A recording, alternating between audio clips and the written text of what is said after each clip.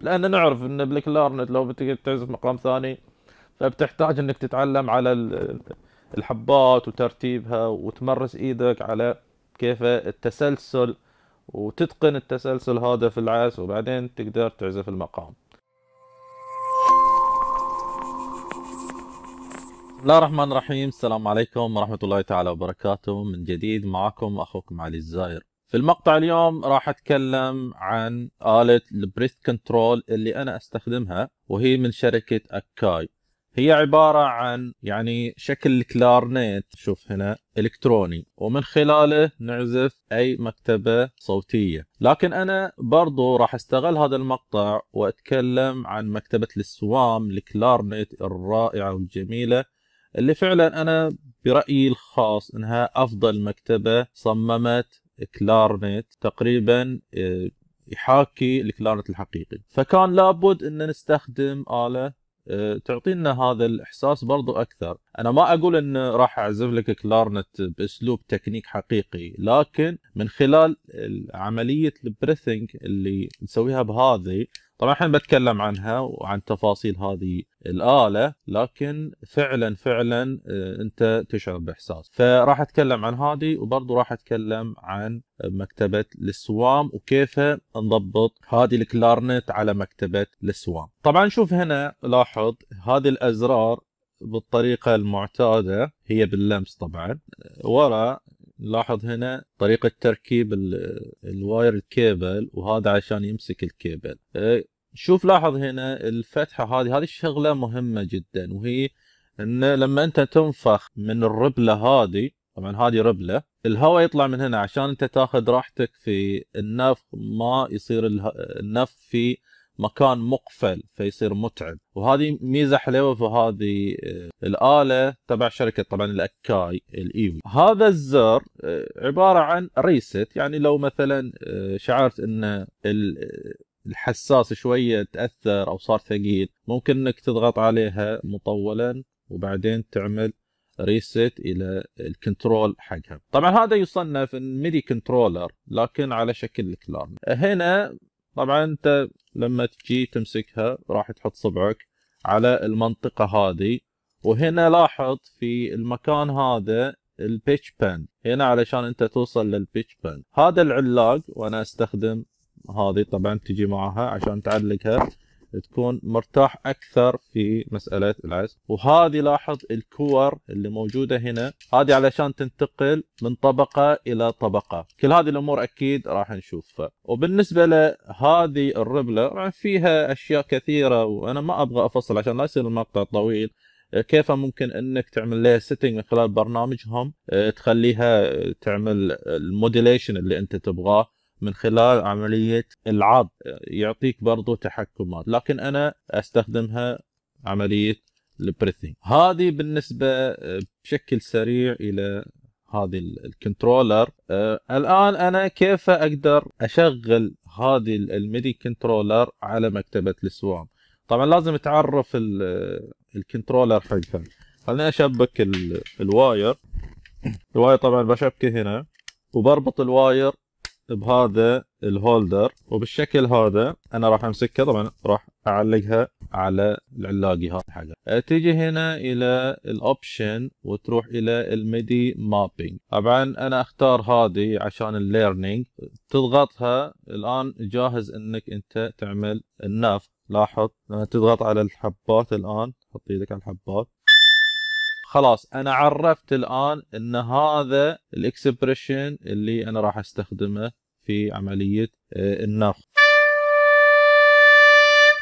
هذه طبعا أول خطوة. بعدين أرجع إلى الواجهة الرئيسية وهنا في أشياء أنا بكلمكم مباشرة عنها علشان لا أعقد الأمور. كيف أنت تستخدم هذه آه، الآلة في ال SWAM؟ هنا لما أنت تستخدم ال velocity بيكون هو يعتمد على ال velocity. طبعا تحكمات ال velocity في ال SWAM هذه تحتاج إنك تنصب البرنامج حقهم وتشوف آه، حدود ال velocity أنت وش تبغاها. أنا غالبا ما أتعامل بال velocity إلا لما أعزف بال keyboard. بوريكم أنا كيف أستفيد من ال clarinet هذه ال controller في عزفي في ال keyboard. أه نجي هنا لأهم حاجة في هذا الموضوع وهو عملية ال volume hard soft expression خلينا نشوف الفرق بينهم. لاحظ هنا.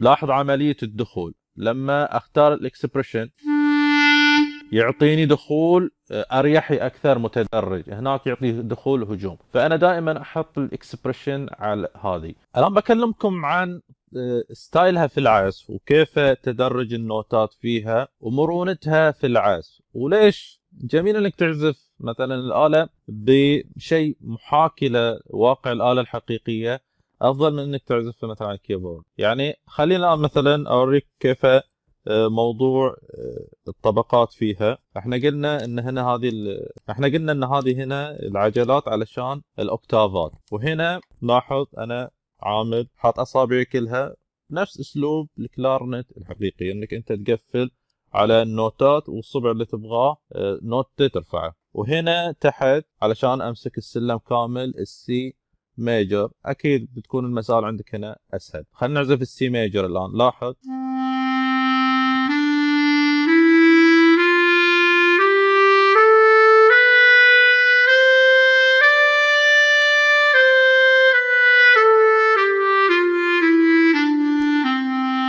فإذا أنت صدت ال C major على هذا ال octave وتبغى ال C major على ال octave اللي بعده فقط حرك صبعك هذا الابهام اللي ماشي على العجلات. لاحظ الآن أنا رحت على ال octave الثاني.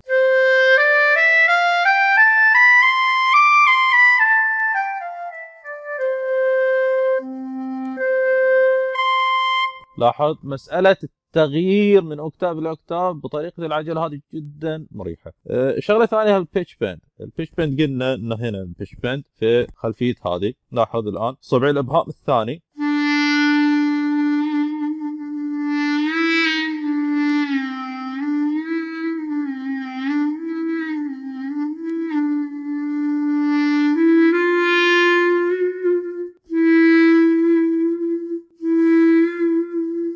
برضو لاحظ كيف سهولة رفع وخفض الصوت بالنفخ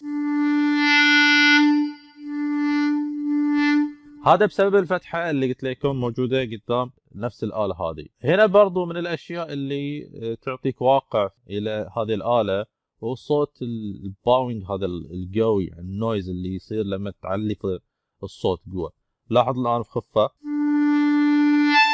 طبعا هذا نتكلم عن ال SWAM نفسه الآن من إمكانيات؟ نجي إلى مسألة آه، طريقة النوتة أو ال mono في هذا ال controller. جدا جدا مريح. لاحظ اثناء عملية العزف.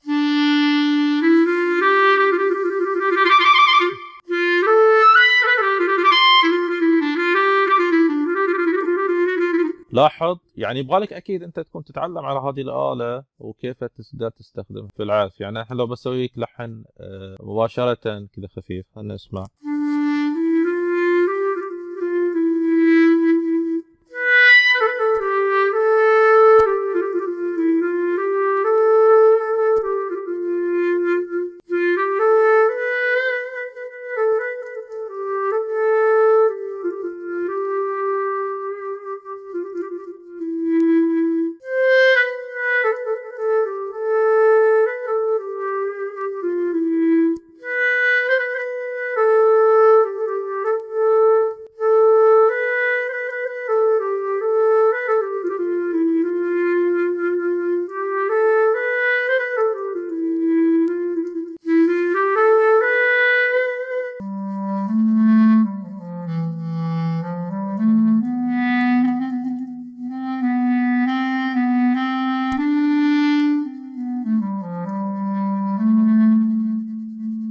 مع الآلة وانت يعني ماسك إحساس الآلة هذه. الآن خلينا نوريك كيف أستخدم الآلة هذه ك breath control لكن عن طريق ال MIDI keyboard. يعني هي فيها فكرة الموضوع يعني tricky القضية. أه، أنا شنو اللي أسويه؟ أخلي نوتة تصير خارج range هذا آه، ال clarinet يعني مثلا هنا ما في صوت هنا ما في صوت. يعني خليها تعزف نوتة خارج ال range وأدور لي يا في ال octave مرة تحت أو ال octave مرة فوق. خلنا نشوف مثلا. لاحظ الآن قاعد يعزف على نوتة خارج ال range أو مثلا ال octave اللي تحت. ال octave اللي تحت ما ناسبني فخلينا نشوف ال octave أرجع لل octave اللي فوق. لاحظ الآن مجرد أشيل إيدي بالطريقة هذه تأكد إنك هنا في ال في ال input مختار all MIDI ليش؟ علشان يدمج لك بين استخدامك إلى ال MIDI keyboard وفي نفس الوقت هذه. ففي الحالة هذه أنا عندي آلتين شغالين في نفس الوقت. هنا بحتاج ان أعمل record عشان تشوف وش يعني هذا الكلام. طبعا الآن أنا بعزف عن طريق ال keyboard ممكن يكون تحكمك أكثر. هذه الآلة تحتاج تتعلم عليها واجد. لكن بالطريقة هذه أنت بتتحكم أكثر. وبرضه ممكن تستفيد من ال velocity هنا. لاحظ الآن ما في volume أحتاج ان أنفخ.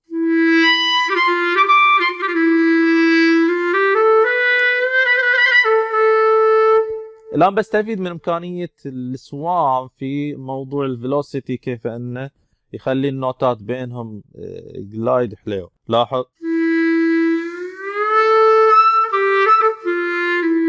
أنا أشيل هذا ال bowing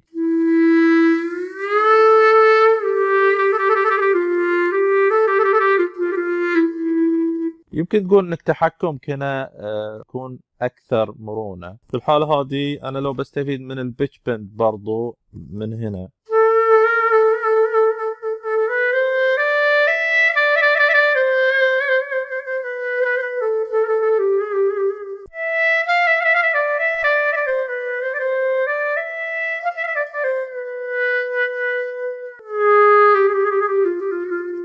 أكيد في الحالة هذه أنت بتقدر تعزف أي مقام لأن نعرف إن بالكلارنت لو بتقدر تعزف مقام ثاني فبتحتاج إنك تتعلم على الحبات وترتيبها وتمرس إيدك على كيف التسلسل وتتقن التسلسل هذا في العزف وبعدين تقدر تعزف المقام. لكن أنا في الحالة هذه واحد بليد فاستغليت هذه الآلة الكلارنت ك breath control وصرت أعزف هنا طبعا بأي آلة مو لازم آلة ال SWAM. آه، تقدر تعزف بأي آلة. عادي مثل أي آلة تستخدم فيها ال controller ال volume modulation أو ال breath control إذا موجود فيها آه، هذا ال controller.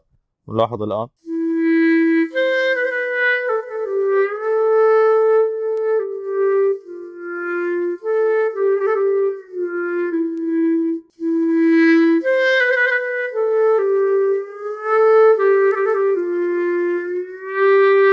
طبعا أنا اتعمد أسوي هذا عشان اوريك إن هنا أنا من خلال استخدامي لل MIDI keyboard يعني رجعت ال velocity علشان استفيد من موضوع ال velocity اللي في آلة ال SWAM هذه. الآن نرجع نشوف التسجيل هذا. كيف إن أنا عندي نوتة مستمرة في المكان الفاضي. طبعا إذا هذه النوتة مزعجة إنك خلاص اعمل لها delete بعد ما تخلص. خلينا نجي نشوف هنا. لاحظ هنا ال breath. هذا موجود. ال breath اللي عملناه هذا موجود. إذا أنت تبغى تتحكم فيه على كيف. يعني أتمنى شباب إنه في هذا المقطع أنا قدرت أغطي فكرتين فكرة هذه آلة الإيوي لأن حقيقة عندي الآلة من زمان عندي لكن آه، ما كنت أعرف متى ممكن أن يعني أشرح عنها أو أتكلم عنها. وحقيقة تركتها فترة لكن الفترة هذه أنا رجعت لها وهذا اللي أعطاني الدافع إني أتكلم. أول كنت أعرف كثير أتحكم فيها لأن الشغله يبغى لها ممارسة